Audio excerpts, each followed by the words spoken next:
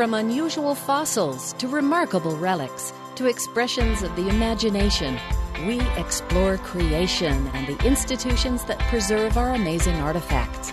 This is Special Collections, radio tours to all the cool places. Here's our host, Mark Burns. They say when it rains, it pours. And when it pours, you better have an umbrella. Whether you call it a brolly, parasol, or bumbershoot, umbrellas are meant to keep us covered. But what covers the cover? In Peaks Island, Maine, there's a museum dedicated to umbrella covers, the snug little sleeves that sometimes get lost forever after an umbrella's first use. But first,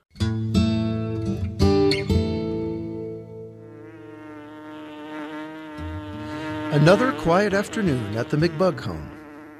Until. Oh, Rodney, I just wish that for once you would take care of the larva. I always get so nervous that I'll be squished by the overripe bananas. Louisa, you know I have work to do. It's your job to watch the kids. But, Rodney, I only have 6,000 simple eyes.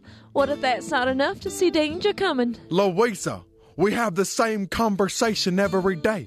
I just can't take it anymore. But, Rodney. No, you know what, Louisa? I'm out of here. The monotony of these last 28 days. No, wait, Rodney. They're going to.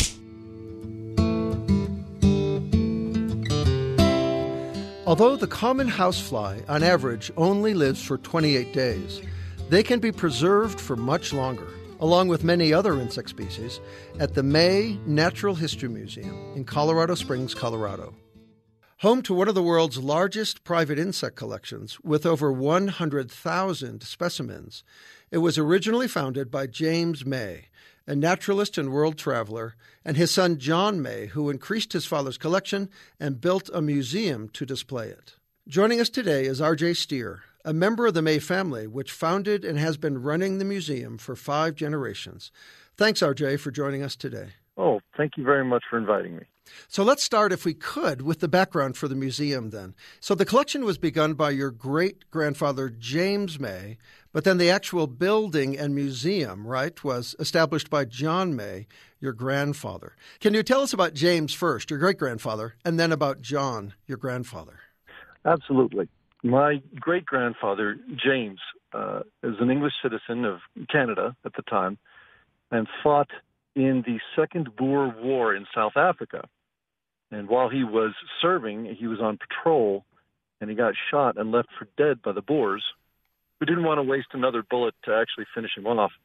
As soon as the Boers left, uh, a group of uh, Zulu tribesmen who were allied with the British soldiers um, came and took him to an aid station. While he was convalescing, he started collecting uh, insects in South Africa itself because he had always had a lifelong interest in collections because as a child, he and his parents lived in the Amazon River Basin in uh, Brazil, and actually his father died of yellow fever there. And they collected for the British Museum.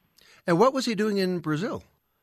Well, you know, he was just the son or child, if you will, but his father was a naturalist for the British Museum, collecting not just insects, but everything. Uh, back in the day, in the 1800s and 1700s, the British Museum sent people all over the world, such as Darwin on the on the Beagle, to collect as many different species of flora and fauna as possible uh, to bring back to the British Museum.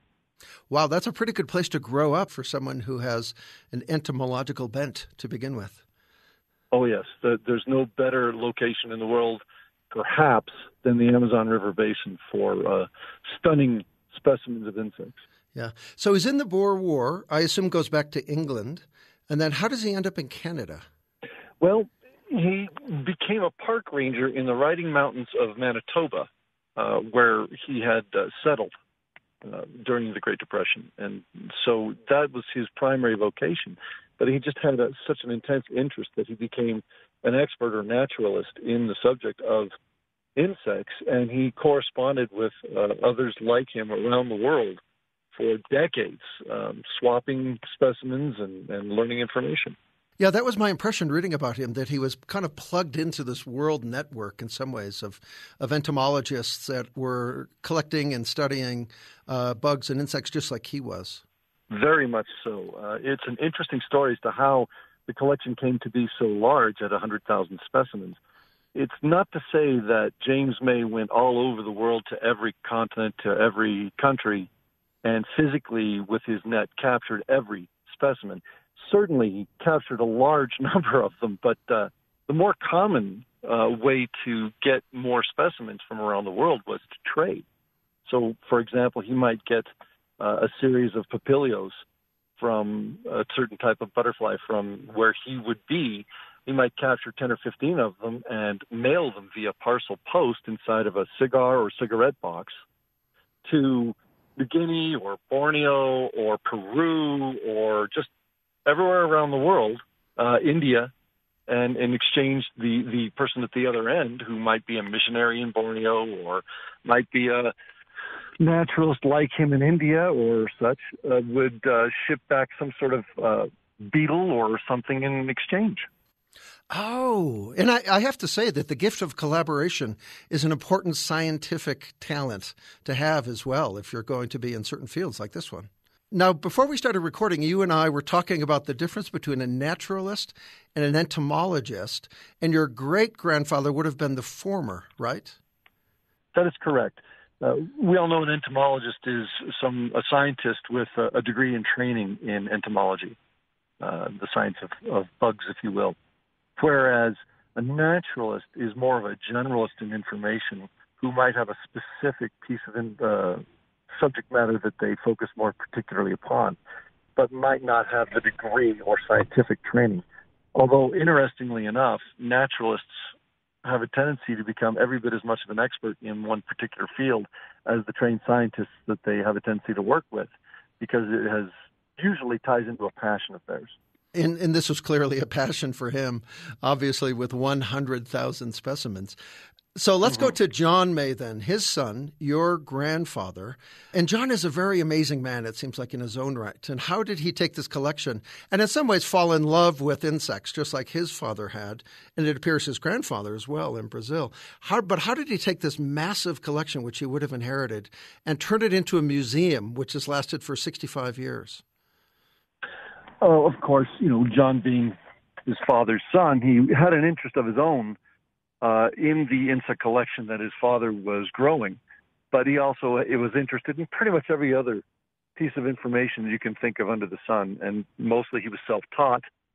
And uh, he figured out during the Great Depression a way of translating his father's passion. I don't want to call it a hobby because that belittles the, the importance of it, but his passion into a, a, a form of way to support the family throughout the Depression era by building the cases that held the collection uh, and holds the collection to this day, and then figuring how to transport and to set up this collection for public consumption. He learned from a German cabinet maker at the age of, you know, 12 or 13 how to build airtight cases with glass tops in order to hold the pinned, scientifically pinned specimens, each one inside that case for all of the cases that he built, which we have 300 or 400 of them. And then he went on to figure out how to purchase what we call the Fruehauf, which is a semi tractor trailer, fill it the back half of it with the collection for travel, plus all of the stands that these cases would have to stand on. He designed them himself, built them himself, uh, and then uh, the family would live in the front of the tractor trailer, and then uh, you, uh, the collection would be in the back of a tractor trailer, and they would travel all around Canada, and then later on in the United States, and set up to show this collection for you know a donation fee uh, to the general public. And he would set this uh, particular collection up in flower shows, which you don't even hear of flower shows anymore, car shows, state fairs, uh, national expositions all across both uh, countries. This collection, actually, back in the day, was shown in Madison Square Garden, for example, and in L.A. and Detroit, etc., all across the country. So they must have really almost lived on the road. It sounds like, right, as they were doing Absolutely. this for several years. Yep. And then tell us about the experience in Florida and meeting Walt Disney. We had established a permanent museum in Colorado Springs, Colorado, which my grandfather, being foresightful, if you will, uh, figured this was the appropriate location for the collection for multiple reasons. One, at higher elevation in a semi-arid area, we have much fewer of the types of insects that eat other insects and therefore would damage or destroy the collection. Here, we don't have termites naturally, etc. And the dry climate is incredibly important for the specimens. The collection would wilt if uh, exposed to a human environment for extended period of times. First of all, the, the collection is essentially airtight, but you know air does leak in, and if it has a lot of humidity, it can damage the collection. Of course, that leads to mildew and mold, and then your specimens become worthless. So the other reason why he chose Colorado Springs, Colorado, is it's quote in the middle, if you will, of the country, so people could come from both coasts to the middle for a centrally located collection. Later on, in the uh, early 60s, he uh, added another branch of our museum in Weeki Wachee Springs, Florida, which was another resort with other attractions. He built the building himself, designed and built the building that housed our collection down there. As far as Walt Disney goes, uh, Walt Disney, he heard, was in Colorado Springs uh, on business or pleasure, I'm not sure, staying at the Broadmoor Resort, which is a famous resort here.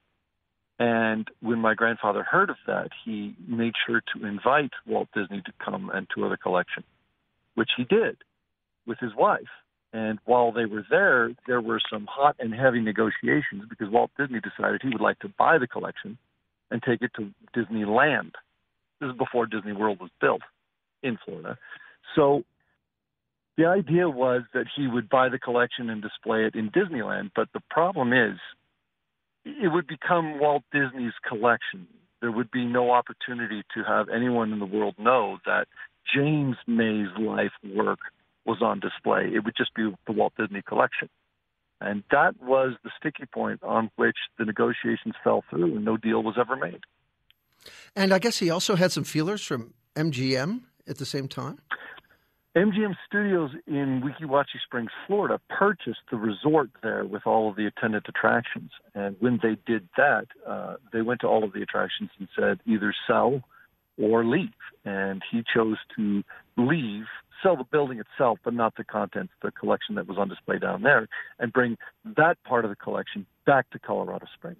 Yeah, for the some of the same reasons, I assume that he said no to the famous Walt Disney. So, well, if nothing else, I mean, the fact that he received feelers from these massive, immense entertainment companies uh, is a testament to the importance and the impressiveness, in many ways, right, of the collection. Tell us how he built the museum itself. Then, that's outside Colorado Springs, there. Well, it is interesting. During World War II, while they were traveling about the country uh, displaying the collection to make a living, uh, they traveled along the front range of Colorado, you know, Denver, Pueblo, etc., and uh, decided that this was a, a lovely place for some of the aforementioned reasons and just because it's beautiful.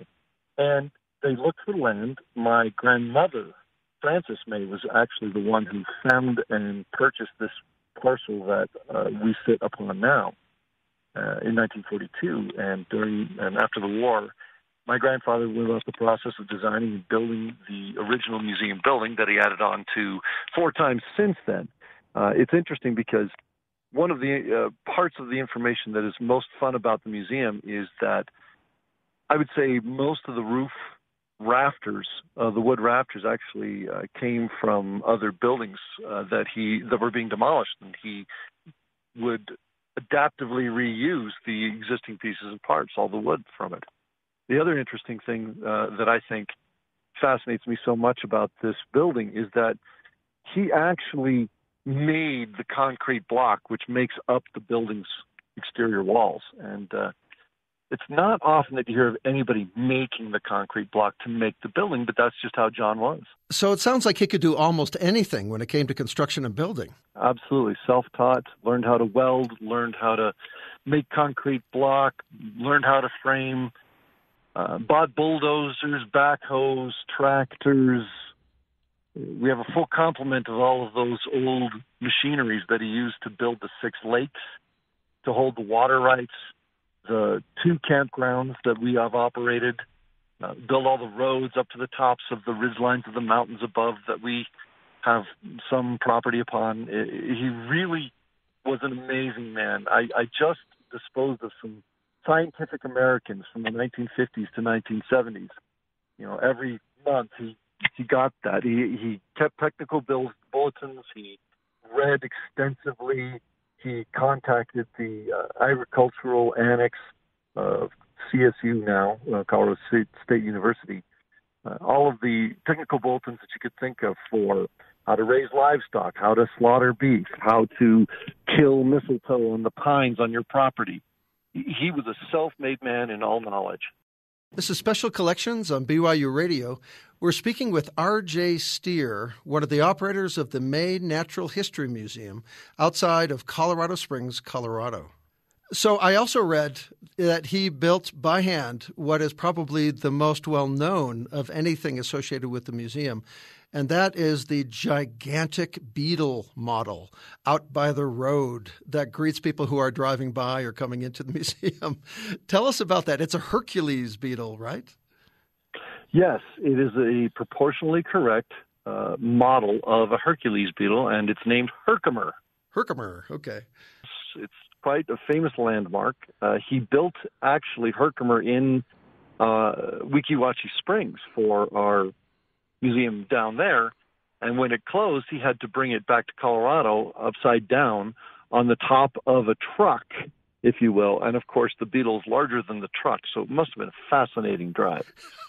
Seeing that thing going down the highway would have been the highlight of many people's days, I'm sure. Mm-hmm. Also, would have scared a lot of them half to death, I think. So, uh, we mentioned in the introduction that there's 100,000 specimens that your great grandfather collected. How many do you actually have for people to come in to see? We have 7,000 specimens on display, only 7,000. Uh, and the reason why is we only display the most spectacular ones, the tropical insects. Uh, there are insects on every continent in every country, but I, I hate to say this, but uh, a, a tiny black beetle from Iceland just doesn't catch the public's eye, and the museum survives on uh, admissions, you know, to the uh, charitable organization in order to survive. So it's important to display the most interesting insects that catch the, the public's attention. And of course, we also, in our specimens, we do have duplications that it's to be expected when you're contending with such a massive uh, amount of specimens. So we display 7,000, and it's really all that people need. You can get overwhelmed at the sheer complexity and variety of the specimens in the collection. So, what's the scientific value of this immense collection that you have there? The scientific value is priceless. And the reason why is you cannot replace this collection.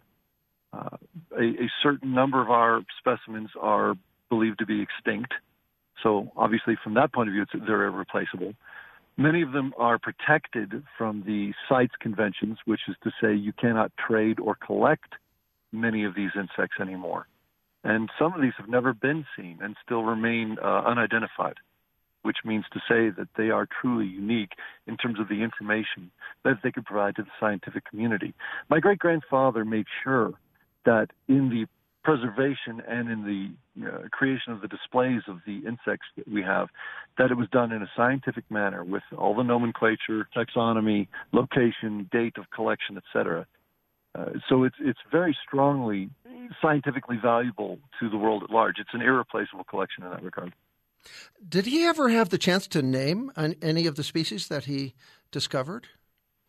To my knowledge, there's at least four that he got to name. Wow. Um, that's right. It's it's very interesting, and I wonder how many more specimens we have that have yet to be named by anybody. Yeah, that he would have the right to name uh, if they now know that you have maybe the only example of it anywhere in the world. What are some of the, the things that people just love to see when they come, both kids and adults? Like, are they some of the biggest insects, or what are the things that seem to draw the most attention? Oh my goodness, there's there's so many. Uh, we have scarabs that are bright gold or iridescent green. We have uh, a luna moth that is 16 inches to the tip of its tail. Oh my goodness. We have a stick insect that is 22 inches long, but is really it's uh, narrower around than a pencil and there's pictures of those on your website as well. It was the stick ones that were the most surprising to me in some ways. I don't know how they carry on their basic, you know, bodily functions, like get things in their mouth when they're so so incredibly thin. Um, Absolutely, we have uh, rhinoceros beetles and elephant beetles that are so large they're you know almost the size of half a brick, really, that they have been known to knock people off of motorcycles in India because when they're flying and you're going in the opposite direction, it's like getting hit by a rock. Oh yeah, yeah, and it would be very distracting if nothing else. Yeah. Mm-hmm. I saw that you have some also that are quite dangerous in the wild, right? That are, are highly Absolutely. poisonous. And how did your great grandfather get those without himself getting poisoned? More often than not uh, by trade, and that that means the specimen has already been uh, killed, if you will, in a humane fashion. He didn't have to worry necessarily all the time about that particular specimen. It just depends on where it was collected from. The most deadly specimens have a tendency to be from either India or Borneo or Indonesia or Australia. Those are usually the, the, the worst. For example, we've got some centipedes that are about 10 or 12 inches long they're thicker around in your thumb. And of course, spiders. Lots of spiders. You know, one thing that I love about the collection is that whenever anybody asks me about it and I start to give them the tour, I, I always remind them at the very start remember, these were live once. And imagine this one or that one crawling on your shoulder. And that gets people's attention. I imagine it does. So, how are they displayed? I know that there's a standard way, right, where a, a, pin goes through the insect and into a board. Is that what your grandfather chose to do for the most part, or are there other exceptions to that? From a scientific point of view, that's how you're supposed to display. That way, the, the full information about the uh, specimen, uh, the sex of the specimen can be shown, the full display of the uh, scales, the colorations. It's interesting because when you walk amongst the collection, you always see something new. And I have been through that collection innumerable times. I tell people, make sure to stop at uh, what you perceive at a glance to be a nondescript specimen and look really closely. Even the ones that don't catch the eye initially are spectacular in terms of the, the, the amount of detail, the scales, the, the antennae, the eyes. It's amazing. If you just zoom in, you can see the most amazing information about those animals. Yeah. And what are the smallest ones that you're able to display? Oh, it, it pinhead or smaller. Yeah. Very small. But of course, you don't put a pin through those because it would be bigger than the actual specimen. Yeah. So, how do you display something that's super small then if you can't put a pin through it? Below a certain point, we don't display the tiniest, except for we have a couple of bottles that show uh, here's the smallest beetle uh, that we know of on Earth next to the largest beetle. That's a fun little specialty display we have. And of course, you know, one is something like 800 times the other. Yeah. And just uh, describe, if you would, some of the different kinds of camouflage that are manifest in all these different bugs that you have. Well, you do have to see it to believe it. But for example, we have uh, butterflies whose wings look exactly like green leaves. We have moths that look exactly like bark.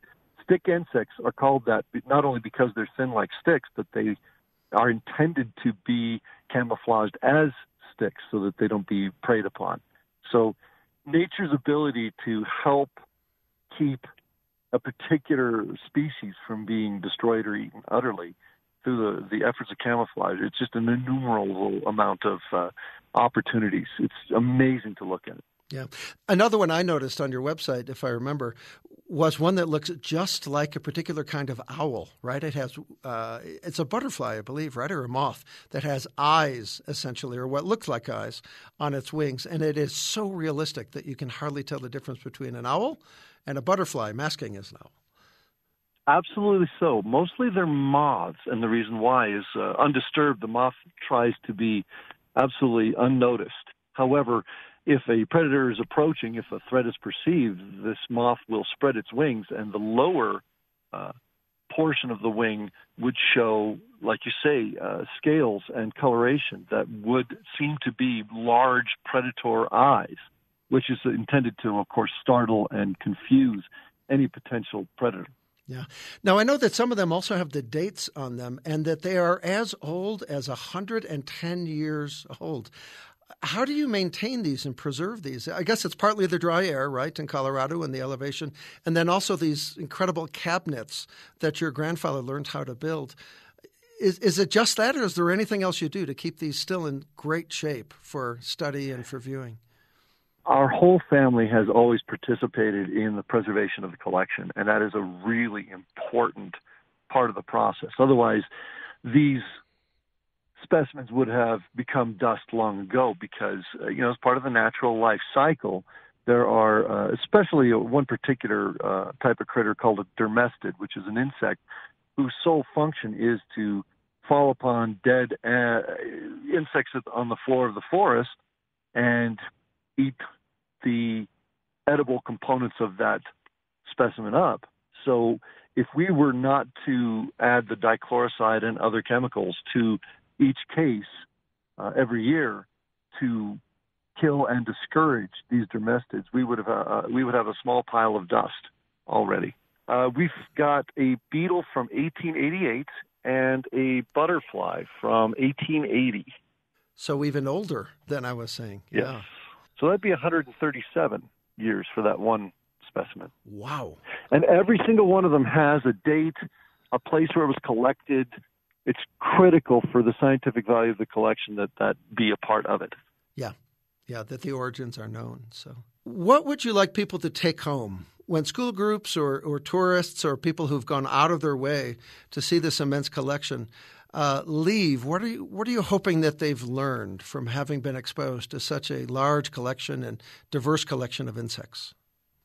Well, the mission of our museum is to inform the public of the wonderful world of insects, and that is exactly it. Uh, the, the immense variety, the immense uh, beauty, even of the most deadly specimens, is is something to to be you know admired. Nobody ever comes out of our collection having seen it and says it wasn't worth coming to see. Something that you have to see for yourself. This has been a conversation about the May Natural History Museum outside of Colorado Springs, Colorado. And we've been talking with R.J. Steer, the great grandson of the original collector and grandson of the founder of the museum, who is one of a team that continues to help the museum function today. So, R.J., thank you for your time today. And I thank you for your time. Okay. Bye bye. Bye. Coming up on Special Collections, we'll talk to Nancy Three Hoffman, owner and curator of the Umbrella Cover Museum in Peaks Island, Maine. This is Special Collections, radio tours to all the cool places on BYU Radio. I'm host Mark Burns. All right, everybody, pick up your shakers if you have a little maraca at home, or get your spoons out of the kitchen and play along with our theme song. And here is what it is. Just let a smile be your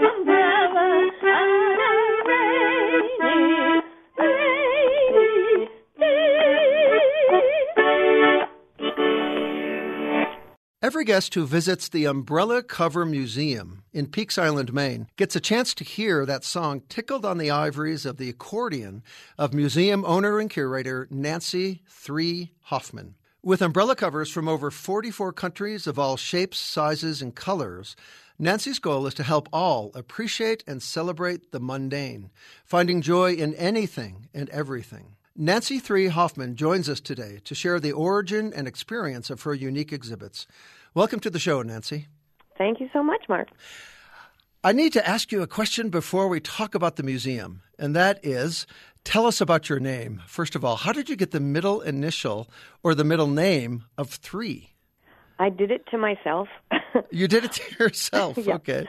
So, and just so people know, it's only the digit three with a period after it, so it looks like an initial. And I was inspired by a typing error on someone else's name that was given a number instead of an initial. And I liked it so much that I thought I would do it myself. And I went around trying to figure out which number worked best for me for various reasons. Number three was my favorite. And people do still fix it to be an E or a B, but it's not. It's a three. And what I like now about it is that it translates into any language. So I can be Nancy Toi or Nancy San or Nancy Trace, and I'm kind of an international culture lover, so that really works for me. And the fact that you have that middle initial is consistent with what I think we've learned about you as we've been doing background research, and that is the fact that you are one of the most interesting people I think I've ever come across, and that much of the draw of this museum is not only the umbrella covers, but it's you as well. well I was wondering if you could give us some background on your life and how you ended up on Peaks Island, Maine. Thank you. Um, I, I'm an island lover. I spent time in Key West, Florida, where I go every winter and on San Juan Island in Washington State in when I was in college. So I'm just drawn to islands, and that's the short version of the story. Um, but when I saw Peaks Island, which is right off the coast of Portland, Maine, I said, "That's it. I love this place. I'm going to come here." And um, the winters are a little too long and cold for me, so I started going, as it were, back to Key West. Um, I think I was a little more normal when I was younger, but as I got older, my eccentricities came out, and um, I don't mind being a person that helps others live outside the box or think outside the box. So that that's one of the things that inspires me too. And what was it about Peaks Island in particular that really struck you, as opposed to all the other islands up and down the coast of Maine? I love islands, number one, because they create a community, because the feel here is as one big family. It's 20 minutes from Portland by ferry. I love the ferry ride. Um, it's pretty. There are wooded areas. The shoreline is rocky and sandy. So it just had a lot of elements that appealed to me. And then, how did you start to do this museum? Uh, again, why umbrella covers of all things? What right. was so, it that helped you to begin to kind of notice them in a way that mm-hmm. you had mm-hmm. not before? And people know that it's just the sleeves, the sheaths of umbrellas. Um, I realized one day that I had several of my own, five or six umbrella covers that were still hanging around the house, even though the umbrellas were lost or broken. And I have found out since starting the museum that almost everyone has the same problem, as it were, that you don't know what to do with umbrella covers. Once they come off the umbrella, they're so hard to put back on. You also um, think they're manufactured, they're kind of cute, you think perhaps someday you'll need them for something. You know, it's just this unconscious process of what do I do with this thing? So they mostly end up in the closet and in the drawer. And that is what fascinated me. It's a it's a packaging and an item like none other that I know of. And so as soon as I started telling people I was interested or asking them where their umbrella covers are, they went to their closets and gave them to me. So that that's how the museum started. It was an inadvertent curiosity project. And then I started asking them for the stories behind the covers. What happened to the umbrella? Why did you keep the cover? Where were you when you bought the umbrella? So they became embellished with a story. And so each one has its own provenance, as we say in the museum world, or history, backstory that I keep on file and very carefully labeled in my museum. Yeah, so it's not just umbrella covers, it's umbrella covers plus their history and their stories and exactly. kind of all of the emotional attachment that goes with exactly. them in some ways. And the people that give them to me. So anyone can be in my museum by donating a cover, which is what I like. It's kind of a leveler in a way of people, which is a good thing. and how many do you have now altogether?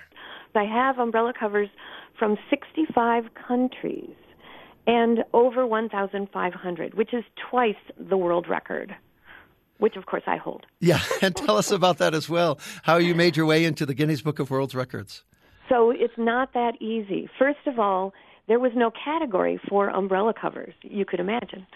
And we petitioned for five years to get them to create a category. But for some reason, well, they tell you that they get 65,000 requests to create new categories a year.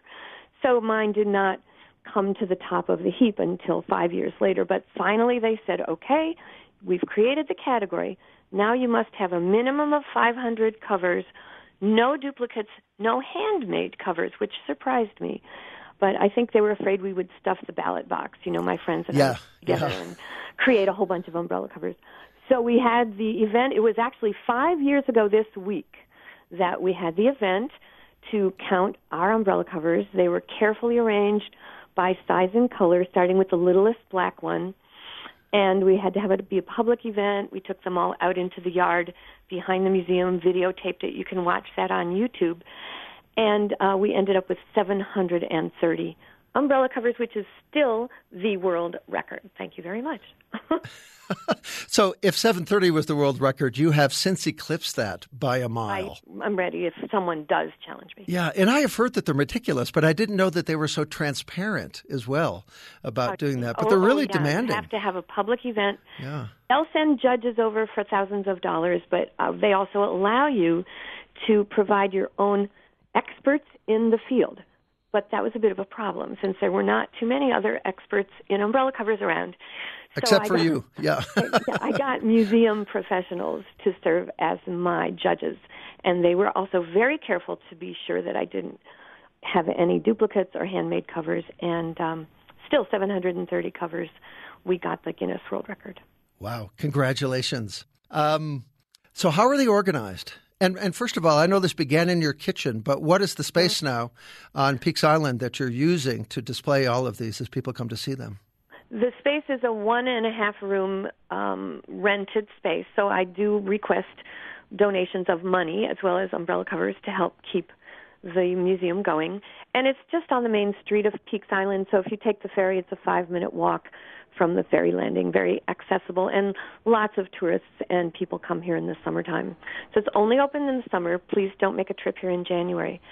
Um, and check for hours if you do want to come see it, just to make sure that it's open. So yeah, um, the, it's organized by the curatorial staff's selection, which is mostly me. And I've got, for instance, a petting zoo where you can feel the different fabrics and interact with some of the umbrella covers. I have uh, what's called controversial covers, which has the cover that might be associated with Hillary Clinton and the one that um, is associated with former CIA Director Leon Panetta. There are really pretty covers. There are designer covers. Many, many, you know, of the best designers also have umbrellas in their line. Then I have games that you can play. There's a game for kids where they match up an animal with the umbrella cover that has those animals on it, like cats and dogs. Raining cats and dogs is kind of a theme.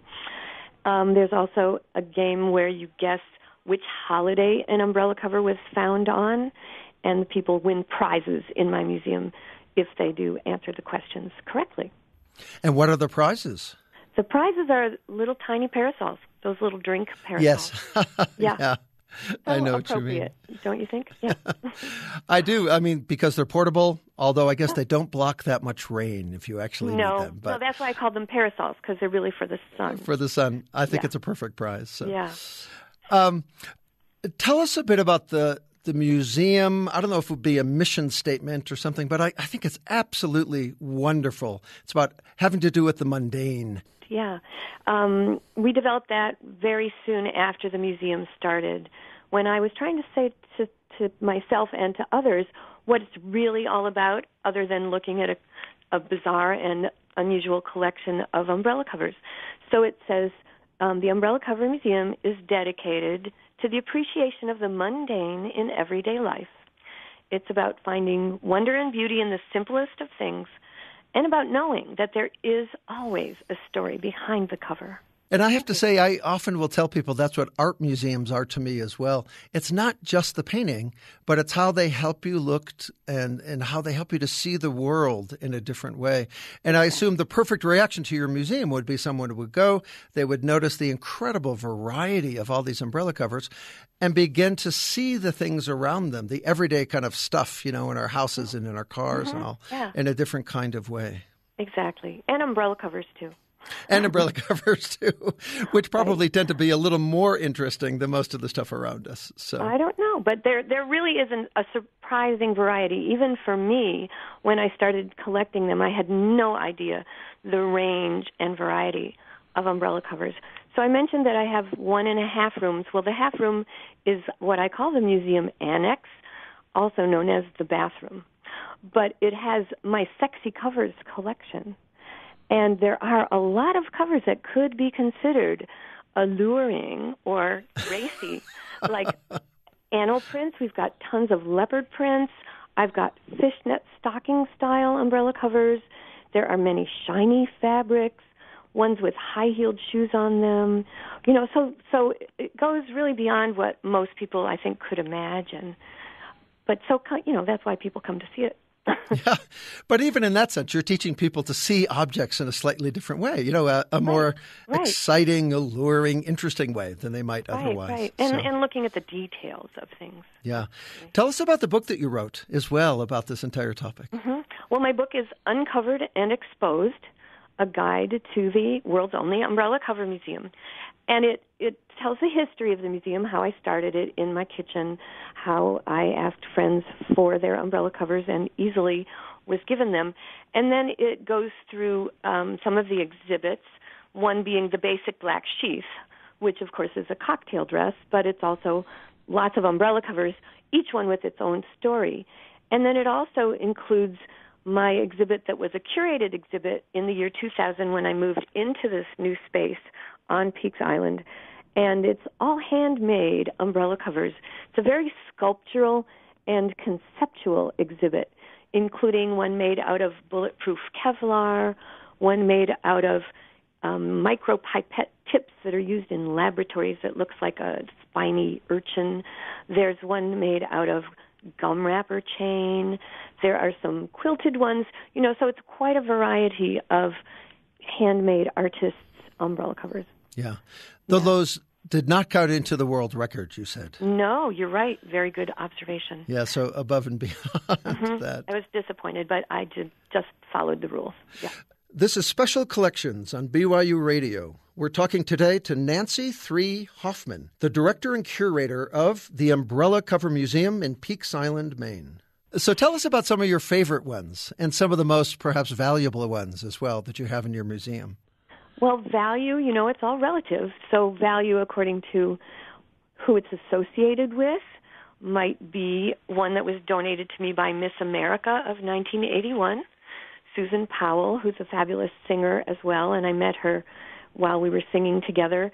And um, so she was in Greece on a tour and bought me a Greek olive umbrella cover. Well, I think she bought the umbrella and gave me the cover. Uh, I do have a leather one from Florence, Italy, with gold gilt on it. That's the story of when it was purchased, 1964, was given to me with the cover. I have a silk one from Japan that's probably worth ten dollars on its own because the umbrella was worth 75. So in terms of actual value. Um, and then the one I mentioned about Hillary Clinton, Hillary was in Dublin, Ireland, and photographed by a family on Peaks Island who, right after that, found a lovely floral umbrella cover, and they theorized that Hillary dropped it out of her pocket. So that's, you know, guilt by association, which we really condone here at the Umbrella Cover Museum. and there's one with a really lovely story written by a girl who grew up on Peaks Island and moved to Germany that was found outside of the Berlin Wall, the remains of the Berlin Wall. And she just tells the story of how it was a misty gray day and there were two lovers embracing by the wall, not knowing that they had this little piece of material history at their feet that was soon to be donated to the Umbrella Cover Museum. So it's just a, a lovely story about a piece of fabric, essentially. Yeah. Yeah. Now, you said before that one of the reasons that you love islands is because the very nature of an island um, kind of forces or at least helps to establish a community, a sense of community that might not, might not exist otherwise. Right. Is there a way in which your museum has contributed to that for Peaks Island or in which you personally now have relationships with people all over the world that you might not have had otherwise? Well, I do, and I've been um, brought and and sent umbrella covers from, as I said, 65 countries. Um, so I feel like I've made this the center of a web of um, people that are aware of umbrella covers around the world, and those are good people because they have a kind of uh, humorous awareness that are people that you want to chat with and get to know. I do have two uh, very rare ones from the Soviet Union that are from Soviet Czechoslovakia, which is now two different countries, the Czech Republic and Slovakia, and they're rubberized cylindrical tubes that were the only type of umbrella cover manufactured. They could be the last remaining Soviet umbrella covers. That would be hard to know.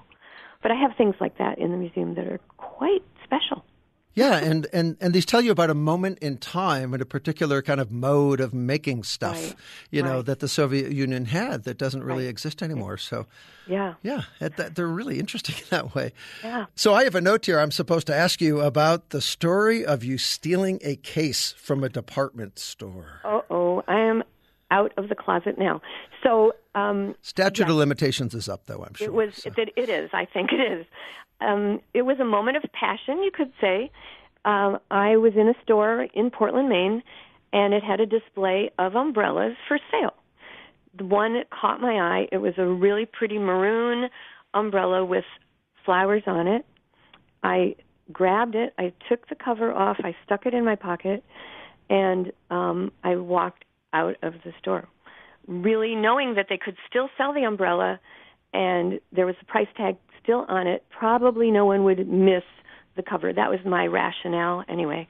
And but at that moment, I realized I was rather hooked on. You could say obsessed with umbrella covers, and so that really prompted me to start the museum.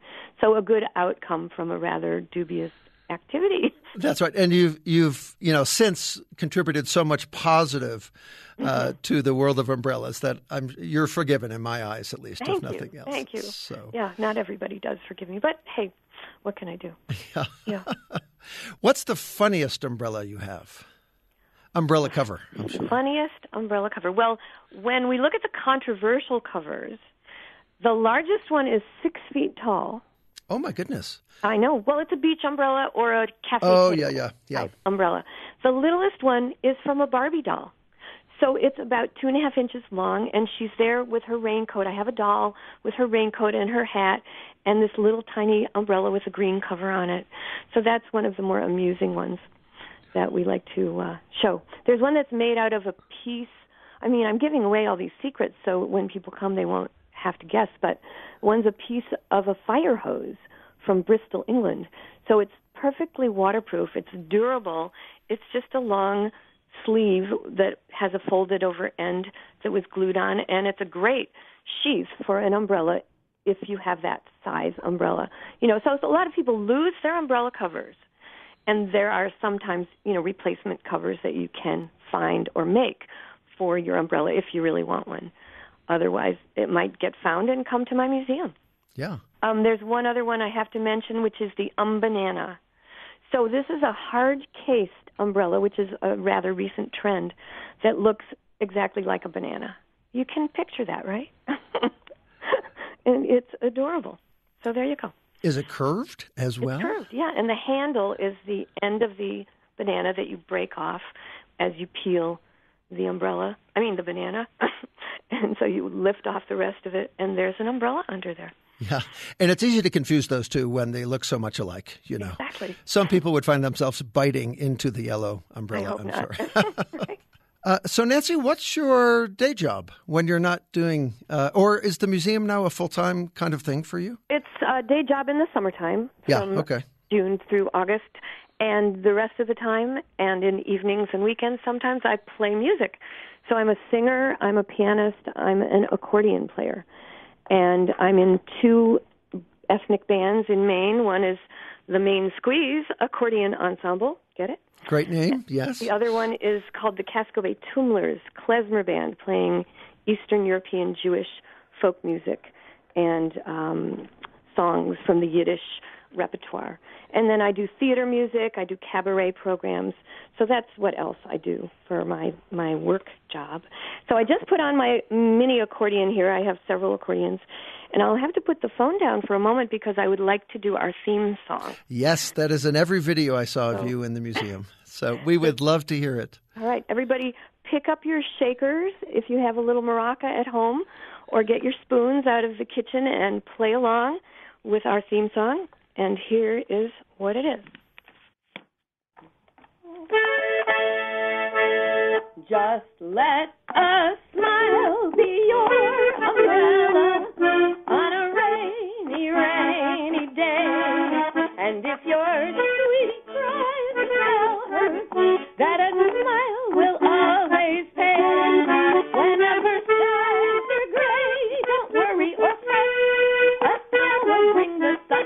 and you'll never get wet. So let a smile be your umbrella on a rainy, rainy day. Ta-da! That was terrific. And you hit the last note perfectly. Congratulations. What Thank you. where does the song come from and how did you find it? It's from 1929, and it was one of those songs written during the heyday of Tin Pan Alley, popular song, piano construction. Uh, was just written by some people that um, wanted to write a joyous song about the rain and umbrellas. And I think you've made it far more famous than it ever was before, probably. Maybe so. Tell us, if you could, what's one more thing that we haven't talked about that you want the world to know about the Umbrella Cover Museum? That anybody can find something to be passionate about. That if you love shoelaces or buttons or um, whatever it might be, that you can run with it and make it your own and uh, have it be a great part of the world. And I think as well, you are an example of someone who is unabashedly in love, you know, with this one object and mm-hmm. have found such joy in doing it clearly and been able to share that joy with other people as well. Right. Thank you. So thank you for your time today, Nancy. It's been terrific to talk to you. This sounds like one of the funnest museums I think I've ever come across, and it's only 20 minutes by ferry from Portland, Maine. Thank you so much, Mark. I'm thrilled to be talking to you. Okay, have a great day. Thanks. This is Special Collections, radio tours to all the cool places. This episode was produced by Abby Nielsen. The recording engineer was Alex Hayden. We received extra production assistance from Sage Smiley and Andy McQuinn. I'm Mark Burns. You may send us feedback or listen to archived episodes of our show by visiting byuradio.org slash special collections. Special Collections is a production of BYU Radio. Thanks for listening.